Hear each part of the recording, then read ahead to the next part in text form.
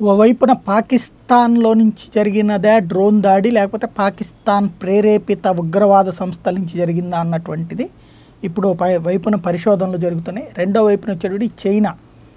చర్చలకు సిద్ధమంటూ మరొక వైపున పెద్ద ఎత్తున బలగాలు మోహరించి ప్రదర్శనలు చేసిన సందర్భంలో అక్కడ ఉన్నటువంటి పరిస్థితుల్ని ఆల్రెడీ సమీక్షించడానికి రాజ్నాథ్ సింగ్ వెళ్ళారు. మూడు రోజుల పాటు ఇప్పటిదాకా కట్టినటువంటి వంతెనలన్నిటి ఇనాగరేషన్ చేయడంతో పాటుగా చైనాకి వార్నింగ్ ఇచ్చారు.